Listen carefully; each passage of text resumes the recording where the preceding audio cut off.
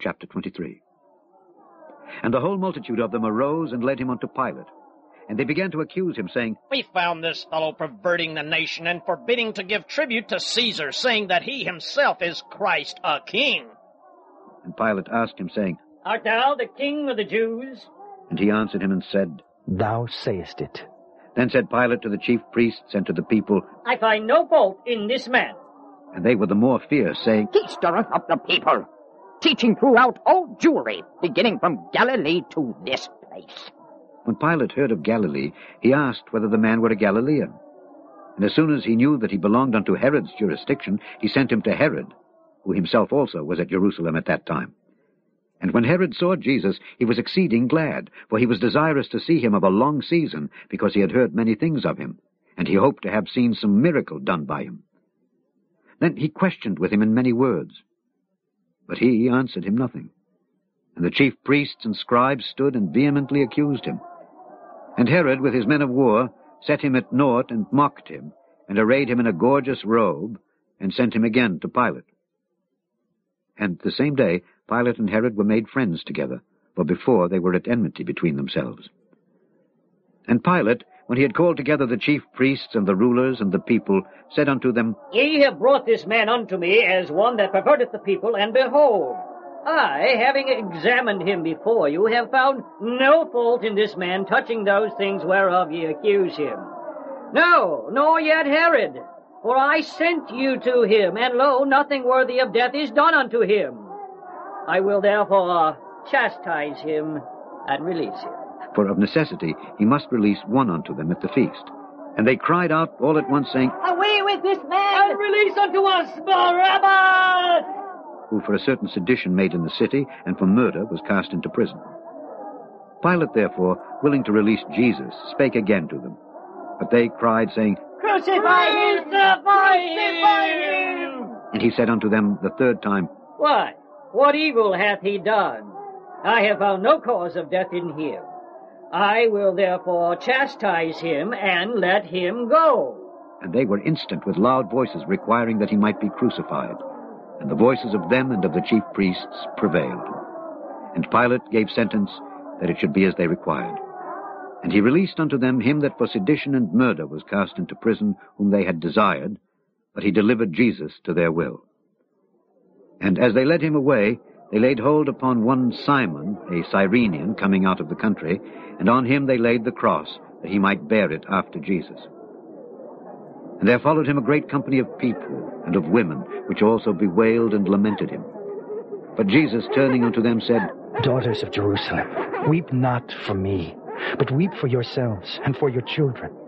For behold, the days are coming in the which they shall say, Blessed are the barren, and the wombs that never bear, and the paps which never gave suck. Then shall they begin to say to the mountains, Fall on us, and to the hills, Cover us. For if they do these things in a green tree, what shall be done in the dry? And there were also two other malefactors led with him to be put to death. And when they were come to the place which is called Calvary, there they crucified him and the malefactors, one on the right hand and the other on the left. Then said Jesus, Father, forgive them, for they know not what they do. And they parted his raiment and cast lots. And the people stood beholding. And the rulers also with them derided him, saying, He saved others, let him save himself if he be Christ, the chosen of God. And the soldiers also mocked him, coming to him and offering him vinegar, and saying, If, if thou be the king of the Jews, save thyself. And a superscription also was written over him in letters of Greek and Latin and Hebrew, This is the King of the Jews. And one of the malefactors which were hanged railed on him, saying, If thou be Christ, save thyself and us. But the other answering rebuked him, saying, Dost not thou fear God, seeing thou art in, in the same condemnation? And we, indeed, justly. For we receive the due reward of our deeds. But this man hath done nothing amiss. And he said unto Jesus, Lord, remember me when thou comest into thy kingdom. And Jesus said unto him, Verily, I say unto thee, today shalt thou be with me in paradise. And it was about the sixth hour, and there was a darkness over all the earth until the ninth hour. And the sun was darkened, and the veil of the temple was rent in the midst. And when Jesus had cried with a loud voice, he said, Father, into thy hands I commend my spirit. And having said thus, he gave up the ghost. Now when the centurion saw what was done, he glorified God, saying, Certainly, this was a righteous man.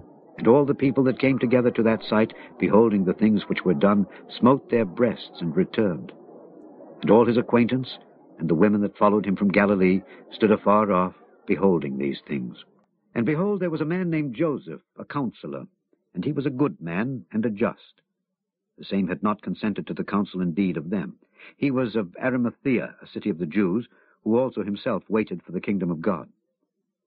This man went unto Pilate, and begged the body of Jesus. And he took it down, and wrapped it in linen, and laid it in a sepulchre that was hewn in stone, wherein never man before was laid. And that day was the preparation, and the Sabbath drew on. And the women also, which came with him from Galilee, followed after, and beheld the sepulchre, and how his body was laid. And they returned, and prepared spices and ointments, and rested the Sabbath day according to the commandment.